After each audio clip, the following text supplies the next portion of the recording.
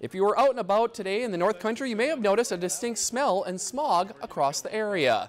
The Bemidji Fire Department says there are no fires in the area, but the smoke is from wildfires burning in the province of Ontario. Low to mid-level winds are pushing the smoke into northern Minnesota, and as a result, the air quality index is poor and can cause problems for some sensitive individuals. Some recommendations are to run your air conditioner if you have one, and keep the fresh air intake closed and the filter cleans to prevent any um, smoke from coming inside.